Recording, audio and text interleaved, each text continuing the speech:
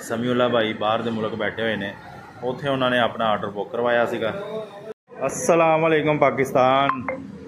ਹਾਂਜੀ, ਮੇਰਾ ਕੀ ਹਾਲ ਆ ਮੇਰੇ ਦੋਸਤੋ? ਇਹ ਜੀ, ਮੈਂ ਉਗਾੜਾ ਤੋਂ ਖਲੀਫਾ ਅਫਜ਼ਲ ਜ਼ਰਈ ਇੰਡਸਟਰੀ ਤੋਂ ਬੋਲ ਰਿਹਾ ਜੀ। ਇਹ ਪੌਦੇ ਲਗਾਉਣ ਵਾਲਾ ਵਰਮਾ ਜੀ, ਉਸ ਤੋਂ ਇਲਾਵਾ ਤੁਸੀਂ ਇਹਦੇ ਨਾਲ ਕਮਾਦ ਵੀ ਲਗਾ ਸਕਦੇ ਹੋ।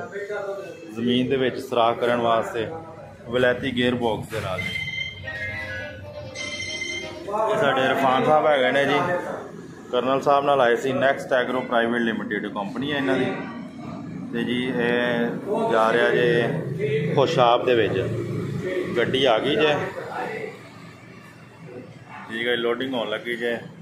ਇਹਦੇ ਮੁਕੰਮਲ ਮੈਂ ਪ੍ਰਾਈਸ ਵੀ ਦੱਸਦਾ ਜੀ। ਇਹ ਅੱਜ ਦੀ ਤਰੀਕ ਹੈਗੀ ਏ। ਤਰੀਕ ਅੱਜ ਮੇਰੇ ਖਿਆਲ 'ਚ ਹੈਗੀ 9 ਕੇ 10 ਮਈ ਜੂਨ। 2024 ਕਿਸੇ ਵੀ ਦੋਸਤ ਨੇ ਆਪਣਾ ਆਰਡਰ ਬੁੱਕ ਕਰਵਾਉਣਾ ਵਾ ਫੋਨ ਨੰਬਰ ਮੇਰਾ ਨੋਟ ਕਰ ਲਓ।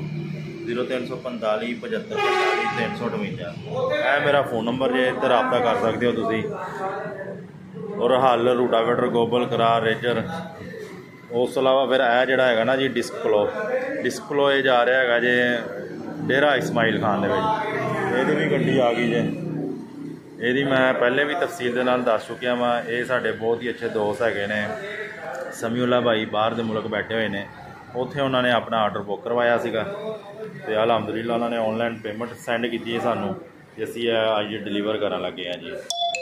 ਇਹਦੀ ਮੁਕੰਮਲ ਜਿਹੜੀ ਹੈ ਨਾ ਜੀ, ਤਫਸੀਲ ਦੇ ਨਾਲ ਮੈਂ ਪਹਿਲੇ ਵੀ ਵੀਡੀਓ ਬਣਾ ਚੁੱਕਿਆ ਹਾਂ 26 ਚ ਦਾ ਇਹਨੂੰ ਤਵਾ ਲੱਗਿਆ ਹੋਇਆ ਜੇ।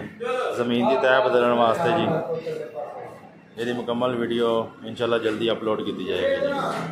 ਇਹਦੇ ਅੱਜ ਦੇ ਪ੍ਰਾਈਸ ਹੈਗੇ ਨੇ 190000 ਰੁਪਏ ਇਹਦੇ ਅੱਜ ਦੇ ਪ੍ਰਾਈਸ ਹੈਗੇ ਨੇ ਜੀ ਬਰਮੇ ਦੇ। ਇਹ ਵੀ 190000 ਰੁਪਏ ਸਾਰੇ ਦੋਸਤਾਂ ਦਾ ਸ਼ੁਕਰੀਆ। ਜਿਨ੍ਹਾਂ ਨੇ ਕਿ ਸਾਡੀ ਐਗਰੀਕਲਚਰ ਇੰਡਸਟਰੀ ਦਾ ਤਵਾਰ ਕੀਤਾ ਜੀ।